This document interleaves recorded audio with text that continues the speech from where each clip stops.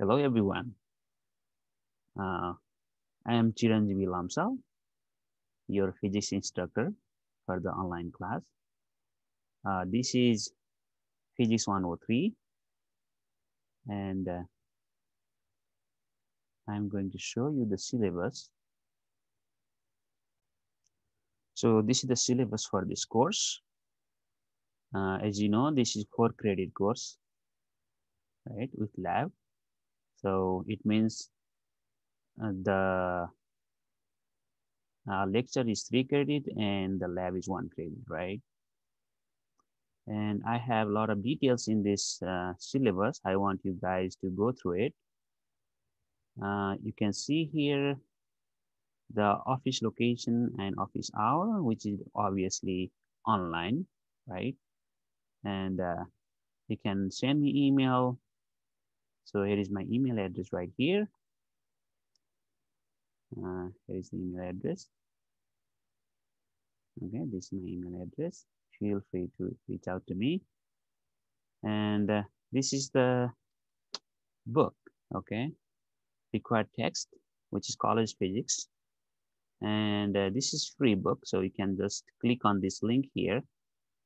So this link, click on this link and uh, you can uh, go here, right? And this is the book.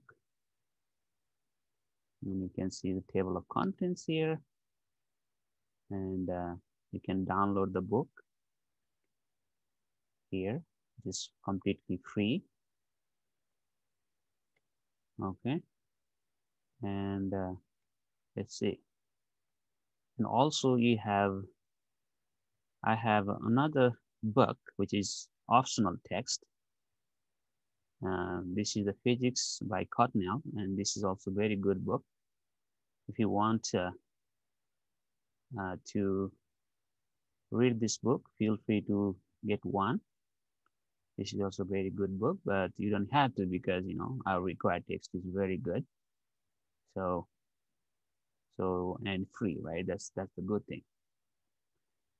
And method of instruction will uh, mainly homework, right? Mainly we'll uh, have the homework, possibly quiz and uh, and the midterms and final, okay? And uh, homework is very important in this course, okay? Doing homework is extremely helpful in developing problem solving skill. So, and also there is no makeup assignment or test. If you miss it, you miss it. I'm sorry, but that's the rule. Uh, then if you scroll it down, this is the tentative plan for the five week. Week one, we go through uh, this, this thing here. This is for the week one. So you can see here 1.2, 2, 4, and uh, 5.2, 5.1. So this refers to the book, okay? If you go here, right, see the, if you see the book, then you can see here. So 1.2, when I say 1.2, this is 1.2 I'm referring to, okay? This is 1.2, 2, so on and so forth. And in week two, we have these things to cover. Then after we have midterm, first midterm. Then week three, week three, we have those topic then week four, we have those topic here. Then we have midterm, second midterm. Then we have week five, right? And which is the final week. After we are done with this, we'll have final exam, okay? So assignments due, assignments and due date. So homework, mainly the homework, right? And possibly some quizzes and uh, there is no late submission. I don't accept late submission. If you are somehow late, then there is a penalty for the lateness, which is 10% per day.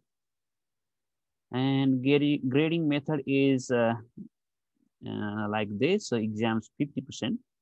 So total of three exams, 50%. And homework 25% and lab 25%. But I don't do the lab. I just do the lecture, as you know. And this is the grading scheme. This is very typical. There's nothing new, but I reserve the right to lower this cutoff here. So, but I will not raise them because I don't want to hurt you guys, okay? That's not my goal. There are different uh, outside resources. Uh, some of them are listed here. One is Khan Academy. You can, maybe you are familiar with it. So this is Khan Academy. If you have some problem understanding some concept, this is a very good resource. And uh, other one is hyperphysics. The link is here. So yeah, uh, that's that's the thing. Um, so if you have any question, you can email me. Uh, uh, so this is it. So I want, I highly encourage you guys go through this syllabus. Okay, so it will give you the understanding of how uh, the course goes. Okay, thank you.